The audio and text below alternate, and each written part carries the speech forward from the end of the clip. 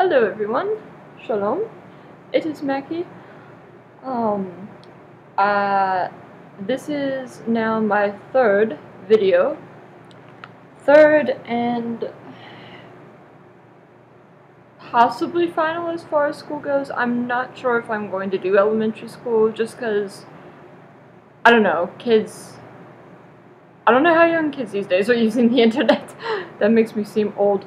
But um, this is going to be my top 10 for going to college. Now, college, college is pretty important, pretty big deal. So, uh, and I'm going to go into more detail about some of these top 10 points. So, I'm going to make this like a three or four part video. Possibly three. More than likely three. Um, now, let's start off. Number one, take a car if you can. Now, when you go to college, the reason why I say this is because it's very, very, it's a psychological thing. I mean, well, for me personally, but also I feel for a lot of college freshmen, um, it's very, very easy to feel stuck and thus panic. Like, if you don't have a car. Uh,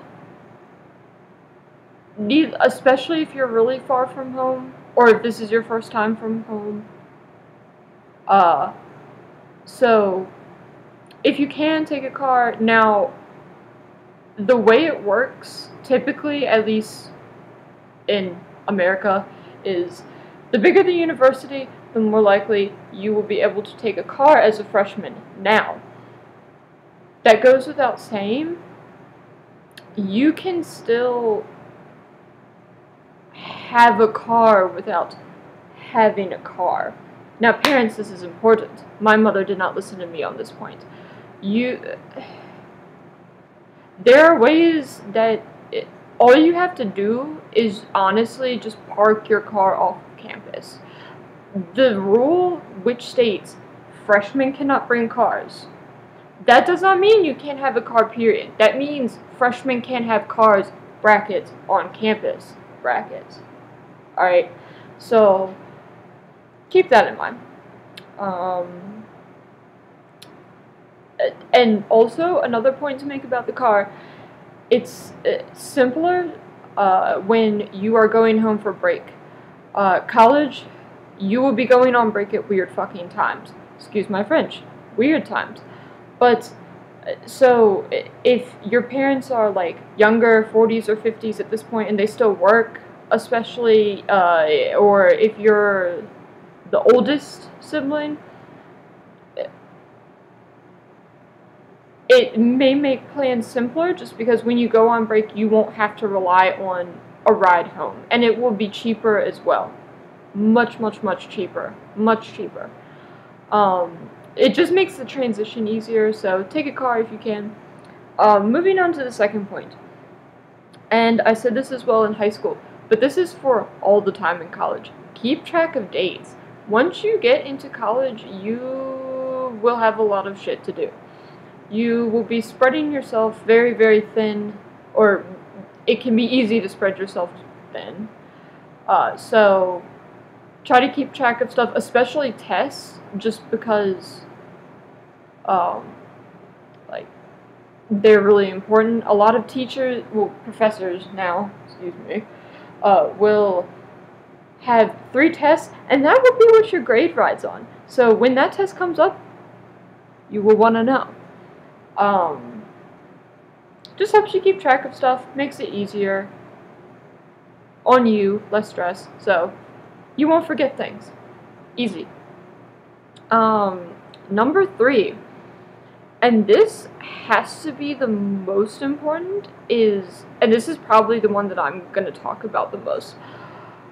Know the ins and outs of your school's academic policies.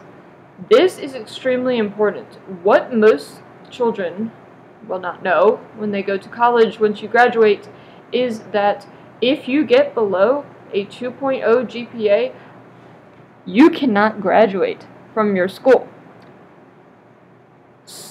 This means that uh, each semester, your cumulative GPA goes below a 2.0, they will put you on what is called academic probation, more than likely, or academic warning, whatever your school calls it.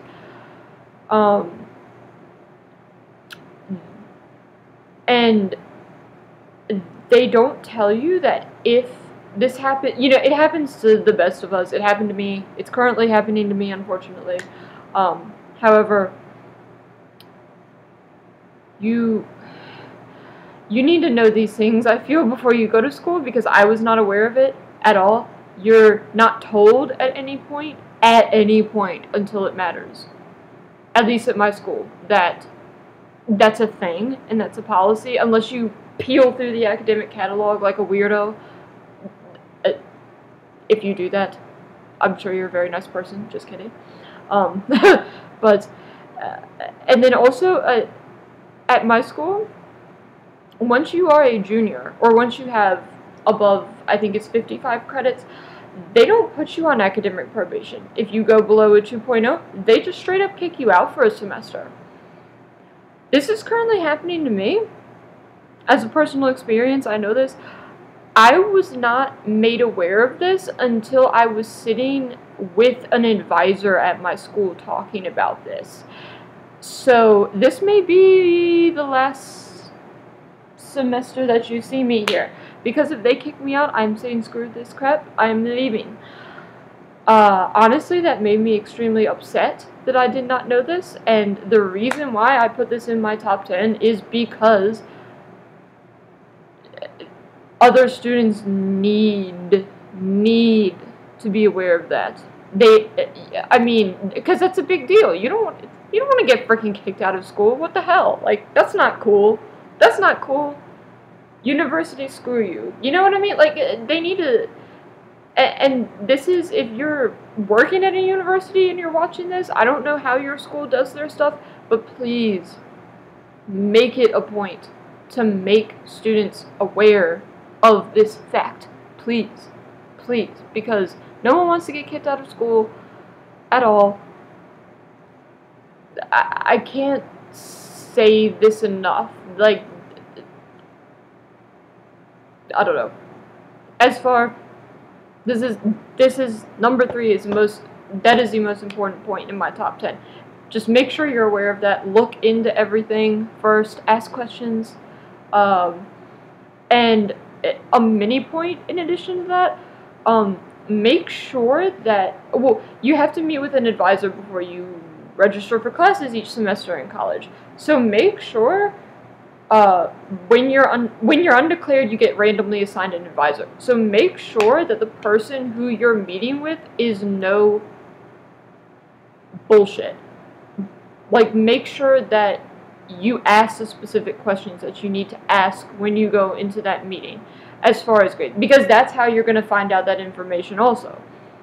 Or anything else that you may need to know that I may not know. I don't know. They don't tell me anything here. Um, so I'm going to end this here. Uh, I will be making part two right as soon as I cut this camera off. Uh, as I will say again uh, like, comment, subscribe, please. And uh, shout out to the two people who subscribed to me already. In the first two days, two subscribers. That's one per day. I think that's very good. Um, also, be sure to comment on this video to request an Ask Mack or a top 10. Uh, I will be responding to anything. Even if it's something you may think I know nothing about, I'm perfectly free to give my opinion uh, I'll give you my honest, most knowledgeable opinion. Um, so comment, like, watch uh, if you want another video, and I will see you in the next part. Peace.